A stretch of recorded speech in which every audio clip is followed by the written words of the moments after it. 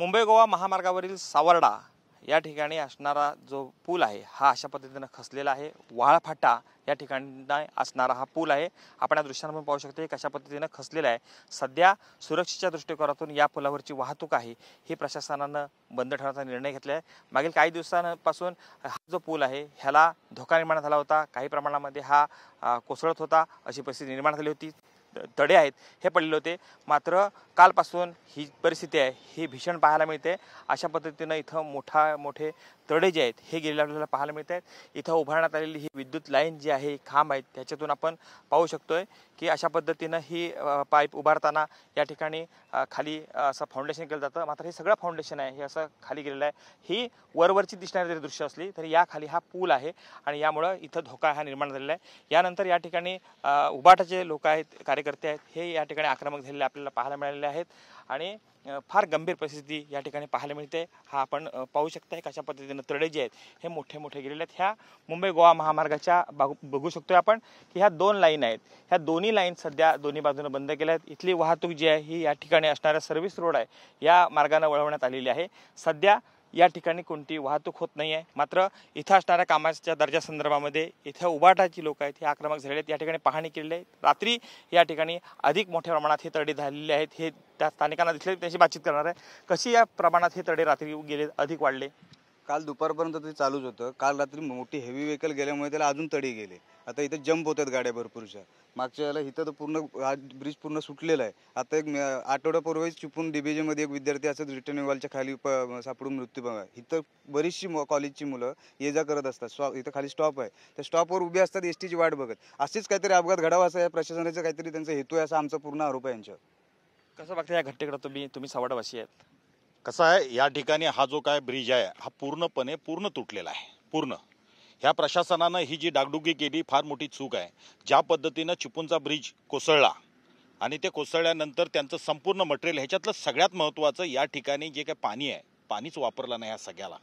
पाणी न वापरल्यामुळे अनेक तक्रारी केलेल्या आहेत. या ठिकाणी एवढा चिपूनचा ब्रिज कोसळल्यानंतर साधा एक गुन्हा कुठच्या अधिकाऱ्यावरती किंवा कॉन्ट्रॅक्टरवरती संबंधित इथल्या इंजिनियर सुपरवायझरवरती इथल्या जे जनसंपर्क अधिकारी आहेत. कशामध्ये पाणी वापरलं गेले नाही कशा पद्धतीने हे जे कॉन्क्रीट जे आहे मेन जे कॉन्क्रीटला पाणी वापरलं जातं ते इथे या ठिकाणी कोंडमाळ्यामध्ये आणि इथं सावर्ड्यामध्ये ह्या लोकांनी तयार केलं. कुठेही पाण्याचा हाहाकार होता या भागामध्ये. आहे. पाणीच नाही. आणि पाणी नसल्यामुळे हे सगळं हे पूर्णपणे तात्काळ प्रशासनानं गांभीर्य हे पूर्ण क्रॅक गेलेलं आहे. ही थुकपट्टी लावून काय होणार नाही. पूर्ण क्रॅक त्या तिकडून बघा त्यापासून इथपासून हे पूर्ण तुटलेलं आहे. आणि हे पुढून फार मोठा अपघात होऊ शकतो. तात्काळ हे तोडून टाकावं आणि हा पहिला जसा रस्ता आहे तसा रस्ता करावा. हे ब्रिज ब्रिज ह्यांचं ह्यांचं ही क्वालिटी नाही कारण ह्यांच्यावरती हे तुम्हाला यांची चौकशी झाली असती तर ह्यांच्यावरती गुन्हे दाखल झाले असते. तर दूध का दूध आणि पाणी का पाणी सगळं बाहेर पडलं असतं. आता इथे घटना घडलेली आहे. या घटनेकडे कसं बघताय तुम्ही? कशा स्वरूपात उभाटा या संदर्भात आपली भूमिका मांडेल? हे बघा पंधरा दिवसामध्ये या संदर्भात हे तोडून काढलं पाहिजे. पहिल्यांदा हे तात्काळ काम चालू केलं पाहिजे तोडून काढलं पाहिजे कारण हे संपूर्ण क्रॅक झालेलं आहे. आणि खालून ज्या गाड्या जातात त्याच्यावरती हे दोन्ही बाजू पडणार आहे. आणि ही वस्तुस्थिती संपूर्ण खरी आहे नुसतं राजकारण म्हणून आम्ही बोलत नाही. या ठिकाणी फार मोठा अपघात होणार आहे. फार मोठा अपघात. आता या किती रहदारी असते या ठिकाणी? रहदारी किती असते? मुंबई मुंबई गोवा हायवे आहे ना त्याच्यामुळे रहदारी आहेच. रहदारी गाडींची असल्यामुळे पेक्षा इथल्या विद्यार्थ्यांची जास्त रहदारी असते इथे. विद्यार्थी कॉलेजचे विद्यार्थी. कॉलेजचे विद्यार्थी. पूर्ण उभे असतात. या ठिकाणी या ठिकाणी दोन्ही बाजूला कॉलेजचे विद्यार्थी असतात. आणि म्हणून आम्ही त्यांना पंधरा दिवसाच्या आतमध्ये हे सगळं पूर्ण एक तर जे काय करायचं ते पूर्ण नवीन केलं पाहिजे. अन्यथा पूर्ण रस्ता ज्या पद्धतीने खालून आहे तो पूर्ण हा ब्रिज काढून टाकावा. आणि पूर्ण रस्ता जसा सावड्यामध्ये बनवलेला आहे त्या पद्धतीने बनवावं कारण यांच्यावरती गुन्हे दाखल झाले. कारण यांच्याकडे तो इंजिनियर नाहीत. कोण पण यायचं कोणी काम करायचं आणि ह्याची ही जी काय अवस्था आहे ही अख्ख्या म्हणजे कोकणाला काळिंबा म्हणजे कोकणातली जनता पाणी गेले? कुठं कुठं हा क्रॅक गेलाय? हा बऱ्याच ठिकाणी पूर्ण क्रॅक गेलेला आहे. हा इथली जी परिस्थिती आहे बघा या साईडला पण पूर्ण क्रॅक गेलेला त्यांनी परत डांबर टाकली इथे इथेच आणि आता तर पूर्ण खाली खचलेला आहे. याचं फाउंडेशनच नीट केलेलं नाही आणि या ठिकाणी हे जे पोलीस स्टेशन आहे ना दारामध्ये तिथं खड्डे बघा.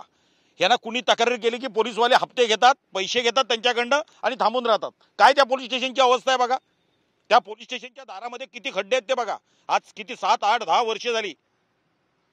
दहा वर्ष झाली. या लोकांना हा जो मार्ग जो आहे या मार्गावरती जे काम झालेलं आहे ह्या काम निकृष्ट पद्धतीचं झालेलं आहे. त्या कामाच्या दर्जाविषयी देखील प्रश्नचिन्ह इथं उभाटा कार्यकर्त्यांनी उपस्थित केलं आहे सध्या या ठिकाणची वाहतूक बंद ठेवण्याचा निर्णय प्रशासनाने घेतला आहे व्हिडिओ जर्नलिस्ट हरी नेगेसह कृष्णकांत साळगावकर टी व्ही मराठी चिपळूण रत्नागिरी